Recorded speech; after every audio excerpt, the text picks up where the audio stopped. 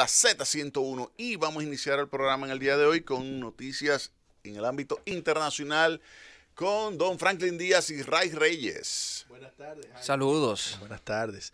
Esta semana, eh, una semana un poco volátil en los mercados, donde el comportamiento tanto del Dow Jones como del Nasdaq fue un poco inestable eh, los primeros días de la semana con alzas moderadas. Sin embargo, el jueves sale un dato que llama a preocupación y es una alerta para la Reserva Federal y su política económica, que fue que las ventas minoristas al detalle en Estados Unidos cayeron un 1.2% en el mes. Esta es la peor, la peor cifra de los últimos 10 años y manda un mensaje de que pudiéramos estar frente a lo que sería el principio de una, eh, una, un estancamiento económico o una recesión. Paul Krugman, eh, Premio Nobel de Economía, esta semana señaló que Estados Unidos pudiera entrar en recesión a finales del año eh, de, este año o principios del año 2020. El reporte de ventas minoristas excluyendo los, las ventas de automóviles, es el, el dato que eh, eh, lleva la estadística de lo que son las ventas al detalle de la mayoría de las empresas en Estados Unidos, de lo que tienen que ver con eh, bienes y servicios. Si bien es cierto que esta caída importante en, en, en, los precios significan alrededor de una disminución de 505.8 billones de dólares en ventas, no menos cierto es que eh, se está dando una sustitución de manera eh, sistémica de lo que son eh, las ventas en grandes tiendas ah, en Estados Unidos a lo que son las compras en Internet. antes de empezar el, el, programa, nosotros conversábamos aquí y sobre una noticia que salió también esta semana de Payless, que va a cerrar eh, muchísimas tiendas en Estados Unidos uniéndose a las, gran a las grandes cadenas de tiendas que ha logrado cerrar Amazon. Y se dice que Amazon es el culpable porque Amazon es el principal eh, eh, vendedor de productos por Internet. directamente se culpa de lo que son los cierres de estas empresas eh, a Amazon que ha eh, permitido que haya cerrado Toys R Us, eh, que ya no hay juguetería en Estados Unidos, ha cerrado Tears, Sears, perdón, ha cerrado Jimboree y han cerrado una gran cantidad de tiendas porque ya la gente no va a las tiendas, sino que la gente lo que hace es que compra por internet. Mira, en esta semana, bueno, en lo que va de año, el Dow Jones eh, se ha incrementado un 14%, es decir, que esa volatilidad que tú señalas, por lo menos, ha tenido cierta tendencia. Eh, y esa tendencia pues ha llevado el precio hacia arriba, el índice promedio Dow Jones 14%, lo cual significa un aumento de la riqueza financiera y ese aumento de la riqueza financiera obviamente que eh, se traduce en un aumento de la capacidad de compra a los agentes económicos. De hecho, por cada 100 dólares de riqueza financiera que se crea, 10 dólares se incrementa el consumo. Por otra parte, hay que señalar que el petróleo, y eso está estrechamente vinculado con la economía dominicana, el petróleo se ha incrementado un 19% en lo que va de año, eso alrededor de 9 dólares. Hay que recordar que por cada dólar que se incrementa el precio del barril de petróleo, pues esto tiene un impacto de deterioro en las cuentas externas de la República Dominicana en 50 millones de dólares en términos anualizados. Es decir, que esos 9 dólares, si se mantuvieran durante un año y se mantiene la misma cantidad demandada, estaríamos hablando de 450 millones de dólares adicionales de eh, factura de petróleo y obviamente o de combustibles en términos generales y eso impacta desfavorablemente el país.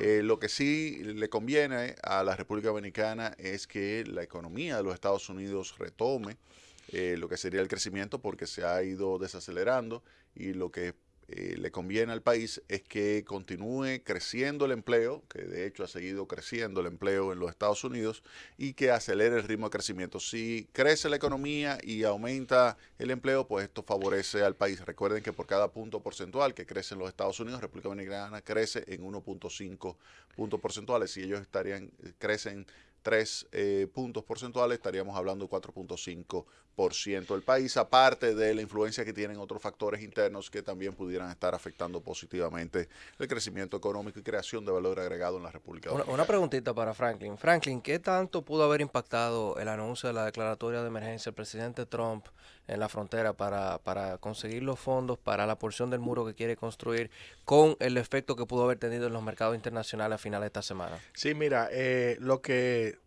está pasando con Donald Trump, yo decía que él quería un muro Ferrari y va a terminar teniendo un muro eh, Volkswagen. o, un muro cepillo. Porque en realidad muro, muro, pero muro va. la discusión tiene que ver con el monto que quieren asignarle los demócratas a, Donald Trump. Si bien es cierto que eso tuvo un efecto en el mercado, yo quería hacer un comentario de algo muy importante en relación a lo que fue la, declaración de Paul Krugman de esta semana, en relación a lo que tiene que ver con una economía en recesión.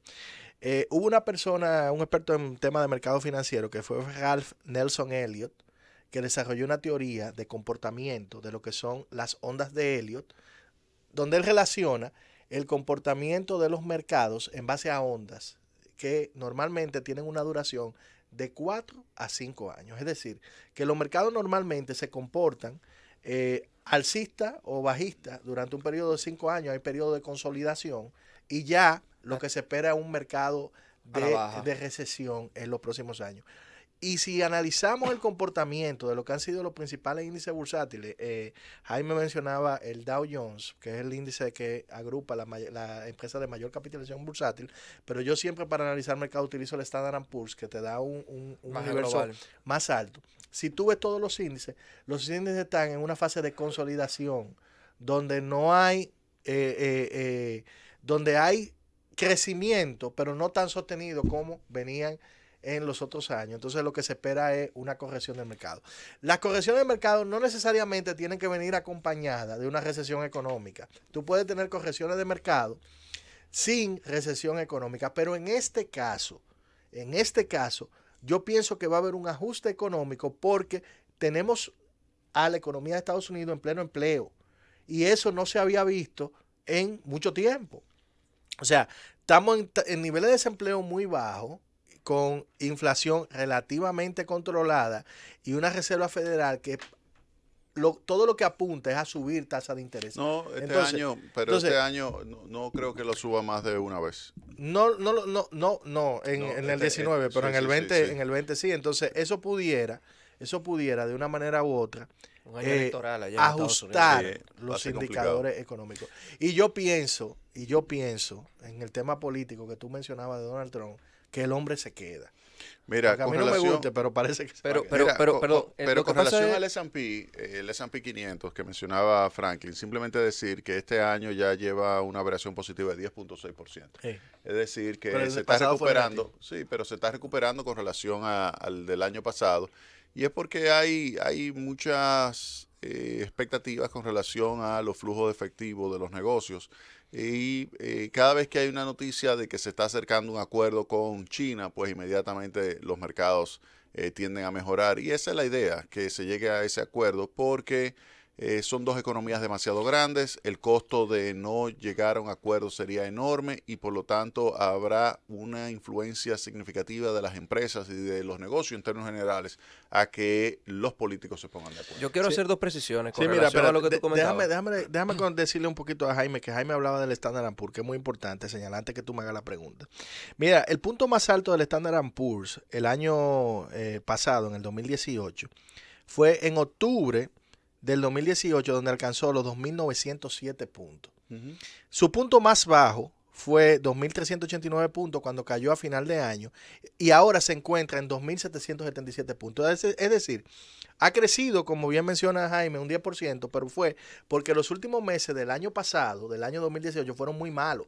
O sea, el mercado cayó mucho y cayó de una, de una... Entonces, el mercado está recuperando. Entonces, por eso que se habla de un tema de consolidación. acuérdate que la, lo que es tu inversión, tu inversión, tú la tienes que ver en el largo plazo. Claro que sí. y cuando tú te pones en los últimos cinco años, entonces te das cuenta de cómo ha ido aumentando significativamente lo que es ese, ese nivel de inversión. O sea, por ejemplo, hace cinco años tú tenías un Standard Poor's eh, que era de 1900, vamos a ver, 1866. Ah, tú sí. tenías 1866 hace cinco años, entonces tú tienes ahora 2775, es decir, que la caída del año pasado, aun cuando fue significativa, pues ya se ha ido amortiguando en lo que va de este año y además cuando tú lo tomas a largo plazo, entonces te das cuenta de que si tú tomas, por ejemplo, 2.775 y lo divides entre 1.866, te va a dar que en esos cinco años 48% se ha incrementado. Es decir, que si tú llevaste 100 dólares al mercado eh, hace cinco años y lo colocaste 148. en lo- un índice que replicara esas 500 empresas, estarías generando 148 dólares. Nada mal para una inversión. Claro Nada sí, mal. claro que sí. Yo quería hacer una precisión con relación al co- a, a- a los comentarios que hiciste al principio y es que muro siempre ha existido. Lo que hay es algunas franjas salteadas a lo largo de la frontera. O sea, no es que está en blanco como, como la que hay aquí. Entonces, eh, Ah, entonces tú quieres que hagan uno aquí, ¿verdad? Yo creo que eso se puede hacer con tecnología, que eso, o sea, gastar en concreto es una forma ineficiente de, de- de- utilizar el, el- el dinero del erario público. Eh, yo no, yo no estoy tan seguro eh, que eso, o sea, yo, que eso vaya, o sea, un muro de concreto como tal vaya a resolver la situación local. Pero eh, evidentemente hay que prestarle atención a la frontera y eso sí hay que decirlo. Pero volviendo al tema, eh, básicamente él va a construir de los 500 kilómetros que él tenía previsto, va a construir 88. O sea, un pedacito literalmente. y- Pero políticamente el mensaje va a ser otro, porque ese es el tema. Él ha hecho un efecto mediático de todo esto, de, de su muro. Y él lo que quiere hacer su muro, aunque sea de tres metros, pero Recu- es lo que quiere hacer su muro. Recuérdate que eso le puede explotar en la cara también. Bueno. O sea, porque eso, eso son municiones también para la oposición. Mira, tú hablaste de un muro, nada más hiciste 88 kilómetros. Y lo más peligroso aún es el tema del uso de los fondos de emergencia para eso. Esos son fondos que corresponden a las Fuerzas Armadas y, a- y a- y al gobierno federal. Eh, y la otra precisión eh, que quería hacer era si eh, se da la predicción que hizo el señor Paul Krugman de la recesión el año que viene, le va a caer en un momento muy difícil La- a, a- a Estados Unidos, La, siendo un año la electoral. pregunta es cuántas recesiones ha pronosticado el señor Krugman. Premio No, Nobel. no lo, le- no conozco, le ha ido muy bien lo conozco muy bien, lo conozco No muy le ha ido bien muy a Paul Krugman. Eh, fue profesor muchos años en el Instituto Tecnológico de. Massachusetts, el MIT. Eh, después eh, estuvo en Princeton, excelente profesor, eh, pero eh, después que ganó el premio Nobel se convirtió a la vedetería eh, económica y entonces eh, el hombre eh, pues está pronosticando continuamente, continuamente, continuamente y eso es como cuando tú tienes un reloj que está detenido. Eh, ¿Cuántas veces al día está dando la hora correcta? Dos veces al día. Si tú Bueno. te pasas la vida diciendo que viene, viene, viene, viene, viene, viene, en algún momento llegará el lobo. Francis, llévatelo. Consulta económica por la Z. Seguimos aquí en Consulta Económica, el oráculo económico de la República Dominicana, el programa económico de la Z101. Don Ray Reyes. Saludos de nuevo. El día de hoy yo quiero que retomemos un poquito el tema de Venezuela, el tema de la crisis política y económica del hermano país de Venezuela. Eh, en días pasados, o la estrategia que se está toma- que está tomando la comunidad internacional para ver cómo saca el chavismo del Palacio de Miraflores es acorralando el gobierno con los ingresos estatales. Entonces se están forzando a que Maduro se quede sin ingresos y tenga que salir del poder. Entonces se ha reportado esta semana que el gobierno estuvo tratando de hacer transferencias bancarias hacia Rumanía, hacia desde Rumanía, Portugal y otro país que fueron congeladas por esos países en bloqueo del régimen de Maduro. Yo personalmente creo que si esa situación se mantiene, al régimen de Maduro no le quedan más de dos tres meses para que él salga. Como se- mucho. porque Mira. lo va, porque lo va, lo- o sea, no tiene oxígeno para respirar, no tiene dinero. Sí, pero mira, ta- ah, yo pienso que hay una polarización con el tema Venezuela. Evidentemente hay dos o tres países de corte comunista que están apoyando a, a Maduro, sí, sí, entre ellos Rusia, Y el China, principal. que está más Y hay una serie de países latinoamericanos, dos o tres, está Bolivia, México, que de una manera u otra tienen una alianza política con Venezuela. E Y hay un grupo de países ambivalentes, que hay que decir, ¿eh? que tienen una posición ahora y otra posición ahorita, que tienen que definirse, porque no pueden estar diciendo eh, que en Venezuela hay una dictadura y después haciendo algún tipo de concesiones. Entonces, yo sinceramente me gustaría pensar lo que tú piensas, de que Maduro se va a ir, por la buena o por la mala, pero no veo que eso sea suficiente para quitarlo del gobierno, porque ese bloqueo económico tiene años. Tiene años de no tan agresivo como ahora, si bien es cierto, no tan agresivo como ahora, que han congelado los activos en el extranjero, como Estados Unidos congeló los activos y se lo dio a- al, al señor este, ¿cómo que se llama? El- el presidente de Guaidó. las, de la- de las- Guaidó. a Guaidó, se lo dio a Guaidó, no ha sido tan agresivo, pero ha habido un bloqueo y él ha sobrevivido todos los bloqueos. Sí, del mundo. sí, sí, pero- pero no igual. Como el de ahora, no, es que no, todo- como el de todo- ahora no, todos los sistemas financieros importantes, el de Dubái, el de Panamá, Sí, el de no, Estados no, no es Unidos, igual, el de no. la Unión Europea, le tienen las cuentas congeladas. O sea, Maduro tuvo que pedir un envío de lingotes de oro de Rusia para poder venderlo, para él cubrir la nómina. Imagínate. O sea, es cuestión de tiempo, No, no, de no, que, él, eh, que él no tenga con qué seguir subsidiando el clientelismo que mantiene allá el, el régimen chavista, porque no va a poder pagar a los militares, no va a poder pagar a, a- a- a las instituciones Entonces, públicas. ¿cuál es, ¿cuál es tu pronóstico? ¿Qué tú piensas que, que va a suceder en los próximos meses? 60, 90 días él se va a ir. demasiado. Eso, es- Él- eso, eso no dura tres semanas. Él está, él, él, Óyeme. él va a tratar, él está buscando una negociación, que habló inclusive con el Papa, que fue que, que- que filtró la ¿Tú no comunicación. ya está él está tratando de buscar un salvoconducto para ver por dónde que él va a salir. Claro, ya eso es. Yo él- tengo él- unos él- amigos que no le conviene que se eh, solucione eh, ese tema. Es lo que, es lo que ya, es lo que está ya preparando su salida. O sea, él sabe muy bien que él no se mantiene ahí por mucho tiempo. Ahora, lo- el punto es el siguiente. ¿Qué va a pasar con Venezuela después de Maduro?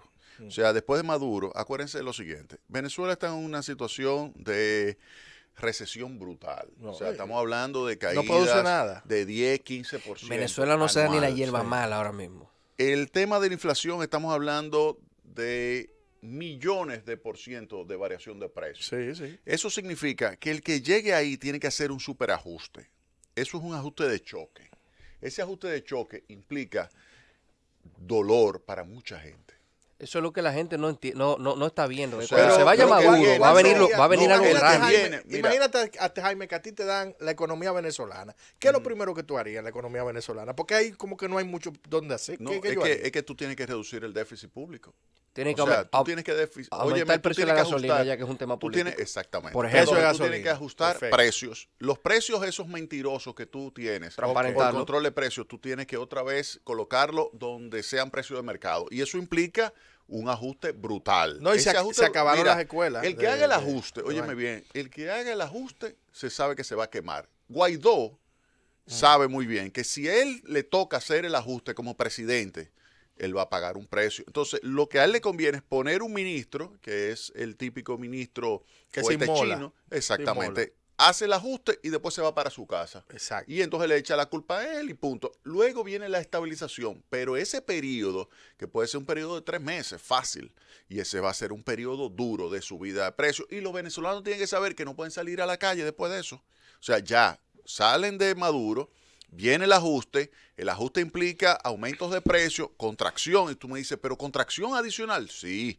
viene una reducción porque alguien todavía tiene poder de consumo y ese alguien va a experimentar una reducción. Entonces, tú tienes que reducir el déficit público. Eso por una parte. Ahora, lo que tú sí puedes hacer simultáneamente es promover una entrada masiva de capitales Eso iba a decir de lo que se fueron. Para Entonces, producir petróleo, porque no hay producción ahora mismo. Exactamente. Entonces tú tienes que traer capitales. Entonces tú tienes que sentarte con tu clase empresarial que sacó miles de millones de dólares y que una parte está en República Dominicana, una parte está en Panamá, una parte está en Colombia, Miami. invertida. Y no, en Miami tú no te imaginas. en Miami, una cantidad de venezolanos. No, no, no, no, no. Ellos han comprado una cantidad de Sí, real estate sí. impresionante. Entonces, él tiene que sentarse con todos esos inversionistas para atraer capital, que es la única forma de amortiguar. Tiene que firmar con el Fondo Monetario Internacional inmediatamente y también sentarse con el Tesoro de los Estados Unidos para tratar entonces de conseguir rápidamente un ajuste.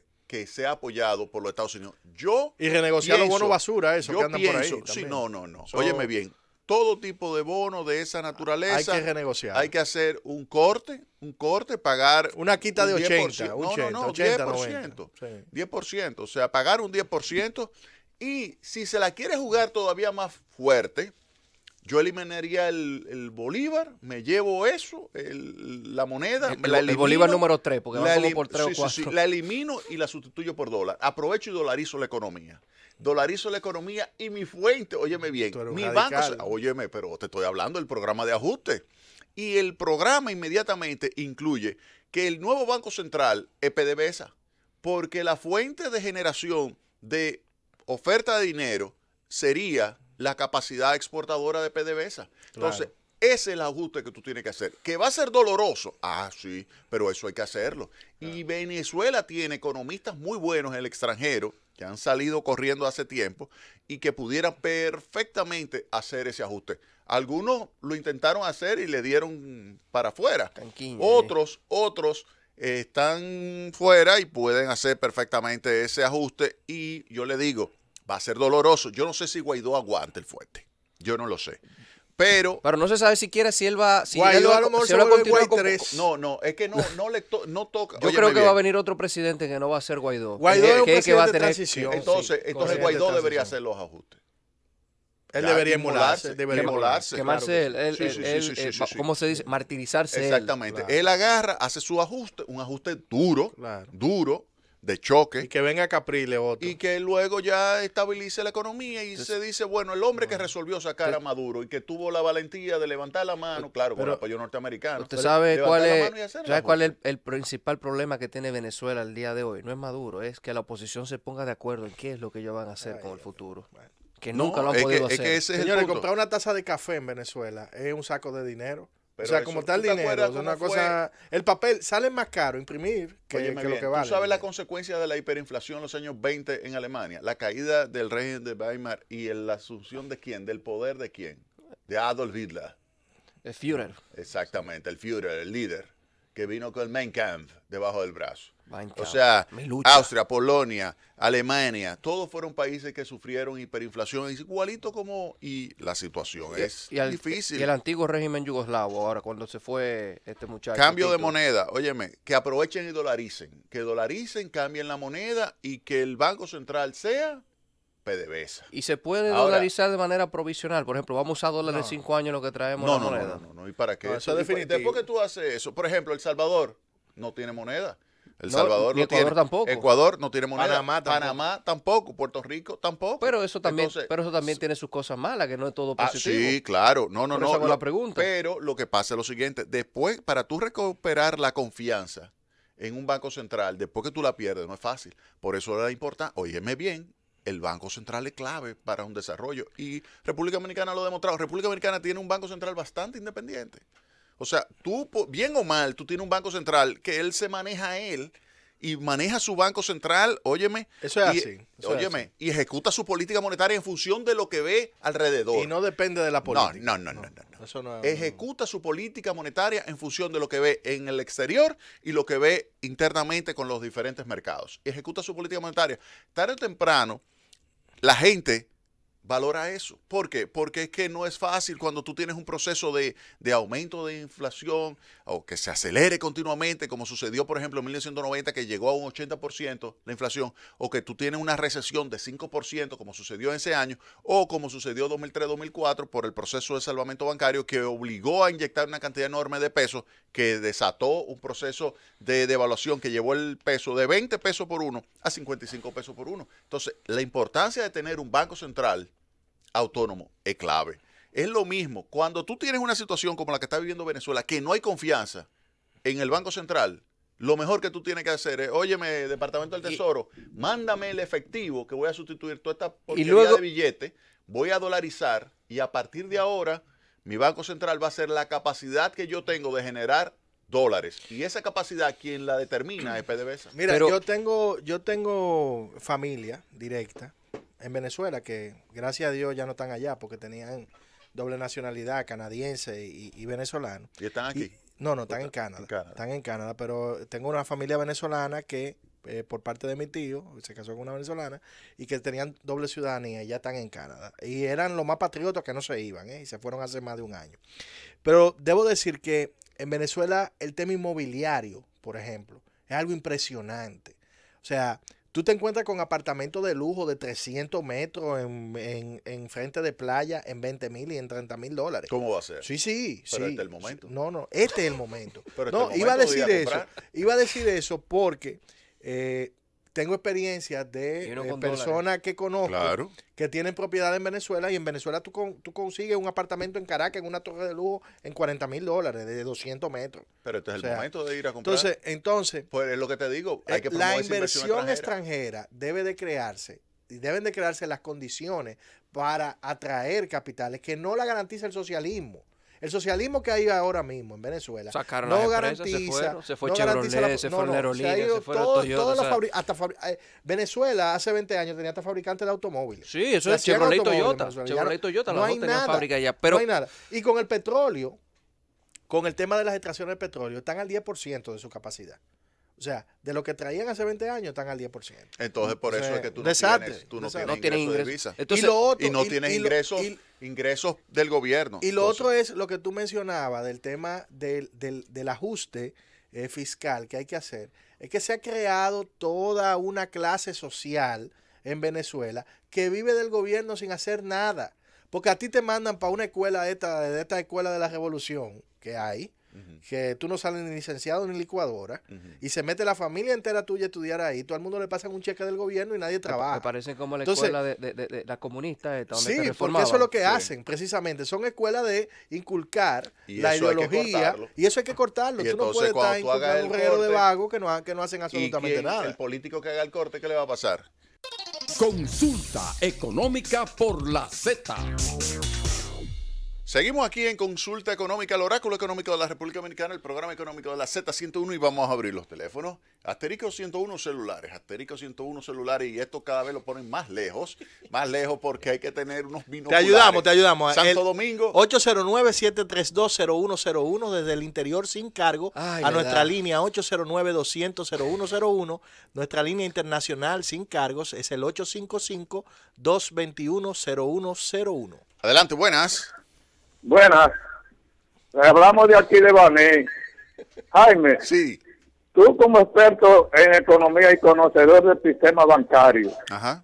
¿tú crees que nosotros vamos a perder el dinero que el Banco Peravia nos ha estafado? Ok, esa es una excelente pregunta y las autoridades monetarias, específicamente la Superintendencia de Bancos, ha estado trabajando con ese tema y ellos han estado, eh, pues, eh, reduciendo lo que son los pasivos que tienen con esos eh, clientes y me imagino que tan pronto lleguen a la etapa tuya, porque me imagino que tú debes tener Por unas- encima de 200, de exactamente, 500,000 tú, pesos. tú debes tener un volumen importante de depósitos en ese banco. Entonces, cuando lleguen a ese nivel, entonces ahí te devolverán tu, tu La- dinero. y ell- ellos están depurando. eh, La superintendencia de banco tiene una unidad fija permanente en Banco Peravia, entonces de acuerdo a lo que dice la ley monetaria y financiera, primero se liquidan eh, los ahorrantes con depósitos de menos de 500 mil pesos que son, ga- son garantizados por ley y luego entonces pasan a liquidar los depósitos de los ahorrantes de montos mayores. Adelante, buenas. Sí, buenas. Buenas. Sí, adelante. Oye, Jaime. Sí. está. Oye, yo... Tiene que, bajar el Rufo vol- Luciano. tiene que bajar el volumen. Ok. Sí. Habla Rufo Luciano. Yo le cogí un préstamo a un bandido que está preso ahora por desparto, el famoso Roberto López, que está preso por el desparto de 1.600 millones. Yo le cogí 9 millones de pesos individuo, me, bajo artimaña me, me lo dolarizó. Terminé pagándole 23 millones de pesos, hasta el punto que me llevó a la quiebra. Y después de haberme cobrado esos 23 millones, él me hizo un cargo por un minuto que supuestamente dice él que le faltaba. Yo puedo demandarle a ese hombre ya que tengo recibo de la cantidad que él me cobró sin... Sí, perf- perfecto. Ahí está. Eh, tenemos aquí a Ray Reyes, que es nuestro experto jurídico. Contéstale. Eh, Bueno, el, el punto es, él dice que él le pagó esa deuda y lo han sometido a los tribunales. Bueno, yo creo que es en los tribunales que tiene que legal. Eh, sí, mira, si, si, si él ya pagó, pagó esa deuda, lo, impor- lo- lo importante es que él se asesore con un abogado y vea realmente si él cumplió con lo pactado en la deuda. Porque, por ejemplo, si tú pagaste y a ti no te dieron un recibo de descargo que Mm. conste que ya tú pagaste esa deuda, Peligroso. usted está en falta ahí. Entonces es bueno siempre verificar esa documentación con un profesional experto en el área para que le pueda dar realmente una opinión más acabada. Adelante, buenas. Tiene que bajar el Muy volumen. buenas tardes. Sí, adelante. Un fiel oyente de ustedes siempre los sábados. Muchas Gracias. Una, una pregunta. Sí. ¿Qué opinión a usted le merece eh, cómo se maneja el gobierno como tal en coger préstamos para pagar intereses de otros préstamos? Perfecto. Dale, Jaime. Adelante, buenas. Eso lo que significa lo siguiente. Eso es lo que significa lo siguiente. En primer lugar, tú tienes que tener en cuenta que no se está tomando préstamos para pagar intereses. Lo que se toma préstamos es para amortizar. Por ejemplo, vamos a suponer, este año eh, tú vas a amortizar, vamos a suponer que tú tienes una deuda y tú vas a pagar mil pesos, dos mil pesos de amortización. Entonces lo que tú haces es paga los intereses con tus ingresos, pero cuando te llegue el momento en que tú tienes que pagar el capital, tú tomas otro préstamo y pagas ese capital. Así tu deuda se mantiene relativamente constante. Si tú observas lo que es la evolución de la deuda, te vas a dar cuenta de que ha estado subiendo no porque se está tomando préstamos para pagar intereses, sino porque todavía hay un déficit público. El déficit público que, aun cuando se ha reducido, es alrededor del 7% al 2.5%, ese nivel de 2.5% sigue acumulándose en forma de deuda. Entonces, lo que tú tienes que hacer para tú lograr reducir la deuda pública es tener un superávit y ese superávit tiene que ser mayor que lo que tú estás pagando de intereses. Si tú logras eso, entonces tú lograrías comenzar a desmontar la deuda, pero no es correcto decir que se está tomando eh, deuda para pagar intereses. Eso no es correcto. Vamos a seguir recibiendo sus llamadas. Adelante, buenas. Sí, bueno, Sí, adelante. eh, sí. licenciado, quería preguntar en relación qué alcance legal Estados Unidos. Yo, yo no estoy, no, no sé, no se está escuchando bien. Le voy a pedir que por favor llame de nuevo. Adelante, buenas. Aló. Sí, adelante. Eh, saludos, Jaime, a, los, dis- a los distinguidos. Sí, Sobre el tema que ustedes dicen que en Venezuela se puede comprar apartamento en la playa de 30, 40 mil dólares, es una realidad. Ahora, ¿cómo tú haces una transferencia a Venezuela? Tú llegas con mil dólares al aeropuerto de Venezuela, ¿tú estás Ah. atracado o muerto? Ajá, no me diga. O sea, trancado o muerto. Atracado, dijo. No, Atracado. atracado. Un cheque, no puede llevar un cheque. Traveler's Bueno, lo que pasa es que el sistema Sí. financiero de Venezuela es, es el del siglo pasado. O sea, Venezuela está bloqueado de transferencia por todos lados. Es cierto lo que Adelante, buenas. La de capital es difícil. Pero ¿y si se lo deposita aquí y te dan el- la, el- el- la propiedad? Habría, habría que ver. O pero ven acá. Hay formas, se le busca la vuelta. Adelante, buenas. Sí, buenas tardes, profesor. Sí, Una adelante. pregunta, Jaime. Eh, viendo la reacción de los mercados en los diferentes países en los cuales los presidentes intentaron una segunda reelección, ¿tú crees que nuestro sistema y los mercados que, tra- que trabajan con la República Dominicana soportarían la reelección del presidente Medina? Mira, es una buena, es una buena pregunta. Eh, todo depende de lo que tú observes que va a suceder con la economía.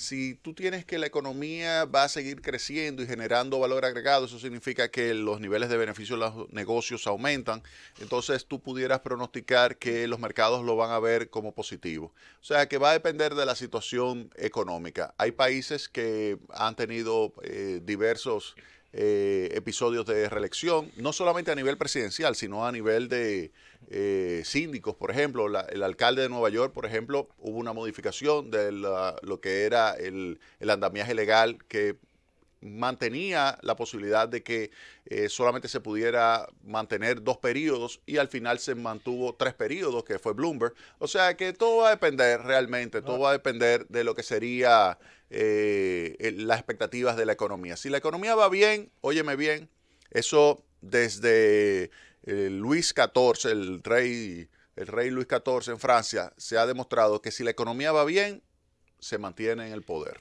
No, y hay que decir que la reelección en Estados Unidos, que es donde no se permite ahora, era permitida hasta Franklin Delano Roosevelt. Porque si, si, si no la 45. quitaban, él estuviera gobernando todavía. Sí, lo que Sí, se murió O en el poder. se murió en el poder. Se murió en Claro. el poder. Sí. Adelante, buenas. Saludos para una mundo. Le habla Francisco Pérez de Jaime. Sí, adelante. Estaban hablando de Venezuela, la crisis de Venezuela. Sí. El problema de Venezuela. Aquí había un, Barahona, un, un apoyo a Venezuela que estaba todo el mundo escribiendo. Pero había una persona que te, cuando tú firmabas en apoyo a Venezuela te decía, ¿cuál es el motivo que tú firmes? Estoy, estoy firmando por la paz de Venezuela, la libertad de Venezuela. Ni estoy a favor de Maduro, ni estoy a favor de Guaidó. Porque los dos cogieron a Venezuela. Sí. Porque los dos son multimillonarios, aún estén luchando por un, por un propio interés. Queremos la paz de Venezuela, Correcto. no la paz de, Gua- de Guaidó, ni tampoco de Maduro. Muchas gracias. Sí, lo que hay que buscar es el mecanismo de que esa economía pueda recuperarse y que la gente deje de estar perdiendo peso. No pesos, peso. O sea, estamos hablando de que pierden fácilmente. No hay eh, gordo, no hay gordo 20 en Venezuela. libras, No 20 hay libras en un año. Y los niños comiendo en la basura. ¿Tú Sí, crees que es o sea, es muy duro, muy duro. Países que son muy ricos en términos de recursos naturales y pasando hambre. Adelante, buenas. Sí, buenas tardes. Buenas tardes. Buenas tardes. Yo, yo quería preguntar en la relación del embargo económico que tiene Estados Unidos a Venezuela, ¿qué alcance legal? Y tú sabes que hay, una, hay muchos inversionistas de diferentes países, porque estamos hablando de una compañía de miles de millones de dólares. Y entonces un embargo que, eh, que incluya el embargo financiero de todos los movimientos internacionales de ingresos y egresos que hace esa compañía, yo sé que hay mucha oposición. Entonces, ¿qué alcance legal eh, puede tener Estados Unidos y hasta dónde puede llegar? Por favor, escuchen la radio. Sí, excelente. Mira, lo, lo, lo más importante que tú debes saber es que el sistema financiero, lo que es el sistema monetario internacional, lo controla Estados Unidos. Porque es quien maneja eh, básicamente los medios de pago a nivel global. El bloqueo de Estados Unidos está impidiendo que en Venezuela haya una libre movilidad de capitales y por eso es que la economía está prácticamente colapsada. Entonces, tú no tienes movilidad de flujo ni de entrada ni de salida de capitales y eso en un mundo globalizado como el que hay hoy en día impide que eh, se pueda realizar cualquier actividad económica. El gobierno está totalmente acorralado. Adelante, buenas. Sí, Adelante. buenas. Sí, buenas tardes. Sí, Adelante. adelante. Buenas tardes.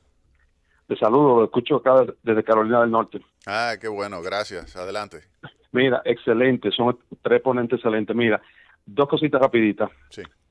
Yo soy camionero, yo vivo en Carolina del Norte, especialmente en la ciudad de Charlotte. Y la economía aquí en todo el sur, yo voy desde aquí a Texas, nosotros estamos sorprendidos con la gran cantidad de trabajo, cómo se está moviendo el dinero, Mm. los negocios. Es algo que uno no veía hace, hace más de una década. Eh, por eso, no pongo en duda lo que ustedes dicen de los índices económicos, pero yo creo que a veces los indicadores marcan una cosa y la realidad es otra. Esa es la experiencia que he tenido. Y rapidito, No. el otro tema, Sí. muy eh, muy excitante, el tema de Venezuela. La pregunta que quiero hacer es muy específica. ¿Qué va a pasar cuando venga un gobierno que haga lo que dice Jaime, que se ponga los pantalones, haga los ajustes que toca? Y ustedes saben que Venezuela, yo estoy en contra de, de- de los gobiernos socialistas, pero ¿qué ha pasado con ese monstruo despierto que ellos despertaron? Esa gente de todas las favelas, de los barrios pobres. ¿Piensa ustedes que se van a quedar así tranquilos? ¿O cuál es su pronóstico? Aquí le mando un Muy buena, muy buena. mucha, mucha, mucha inestabilidad y mucho, eh, va a haber mucho problema a lo interno, mucho problema económico. Eso es lo que va a venir en lo que ¿Tú se... recuerdas cuando Argentina se sucedieron Corralito. Sí, Corralito. sí, no, no, no, no, no, pero después, o sea, Que hubo como cinco gobernadores. gobiernos, Sí, cinco sí, gobiernos, cinco gobiernos, sí. uno detrás de otro. Sí, sí. O sea, nadie quería la presidencia, No, nadie. porque es que es muy duro, muy duro hacer un esos ministro ajustes. famoso del Banco Central, ¿cómo era que se llamaba? Eh, ¿Pero quién? El, el que, ¿El que hizo los ajustes con sí, Menem? Sí, No, Caballo. Caballo. Sí, pero Caballo después en la segunda etapa, Sí. que fue uno de las víctimas, o sea, porque no aguantó el En el fuerte. 2000, el Sí, cacerolazo. exactamente. O sea, a partir de ahí, eh, Y lo- y- óyeme, y hay que en los muy- ajustes hay que saber como país, y como hay que hacerlo sociedad. inteligentemente. Sí, pero esto es muy duro. Porque lo que tú viene. sabes lo que, que- le viene a Venezuela es muy Tú duro. sabes que no lo que, importa lo que capitaliza, lo que capitalizó Hugo Chávez precisamente fue esa diferencia entre rico y pobre que hay en Venezuela. Así Es, es. que somos los buenos contra los malos. Y los ricos son los malos y, y- Y los todavía Maduro lo dice, los que la oligarquía, que no sé cuánto, y expropian todas las pro- todas esas propiedades. Pero, de- pero, de- lo, de- la- pero lo, lo fuerte es que la oligarquía es él. Claro que es buenas. él. y- Buenas. Sí, buenas tardes. Sí, adelante. Eh, y yo quería saber y qué va a pasar con las deudas de la empresa y del Estado, este, porque ya que no puede cumplir con todas sus acciones de, compromiso financiero, este, el gobierno tiene deudas y compromisos Sí. que cumplir, Y- tanto la empresa PDVSA como el gobierno, que en esos ingresos tiene que pagar muchos compromisos. Igual Las deudas siguen, los intereses siguen. Mm. ¿O qué hace el gobierno para evitar el incremento de deuda en base a dinero que no está recibiendo y dinero que no está cogiendo prestado, pero que sí aumenta los intereses de la deuda y los compromisos? Por favor, Tú escuche. estás hablando de Venezuela, él está hablando de Venezuela, Sí, supongo. sí, Sí, sí. Bueno, mira, eh, eh, en la situación actual que eh, tiene Venezuela, un impago es inminente. Sí. O sea, el default es la única solución. Eso es cuestión y, de y tiempo. es algo que, que, que es fuerte decirlo, pero no hay capacidad de pago. No hay, No hay ni- capacidad Pero- de pago. Pero eh, eh, recuérdese que un Estado, por más endeudado que esté, eventualmente comienza a pagar de nuevo. Y por ejemplo, en el caso de Argentina, ellos cerraron todas las fuentes de ingresos internacionales que tenían y comenzaron a pagar Pero le dieron una dinero. quita de 90 a los bonos. Sí, Argentina, entonces, o sea que- lo que el, el- el que tenga deuda venezolana, óyeme bien. Y nada. No tiene no voy nada. a decir nada, pero el que tenga deuda venezolana. Eso es como una novia en Nueva York. ¡Eh, Llévatelo, Francis, llévatelo. Consulta económica por la Z.